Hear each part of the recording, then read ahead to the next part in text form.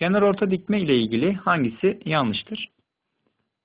Şimdi üçgende kenar orta dikmeye bakacak olursak iki tane üçgen çiziyorum.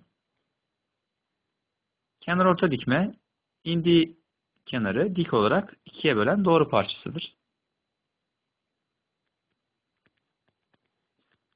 İki farklı üçgende kenar orta dikmeleri çizdim. Şimdi şıkları inceleyelim. Kenar orta dikme çizildiği kenarı ikiye böler. Doğrudur arkadaşlar.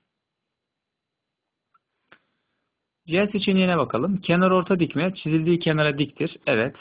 Doğru. Açıdan çizilen kenar orta dikme aynı zamanda açı ortaydır.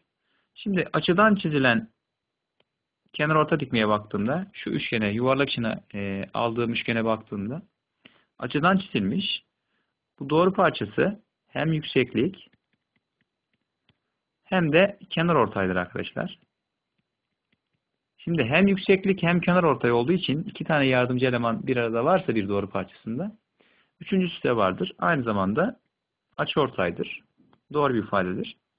B seçeneğinde verilen kenar orta dikme açıdan çizilmek zorundadır ifadesi yanlıştır arkadaşlar. Açıdan da çizilebilir, çizilmeyebilir.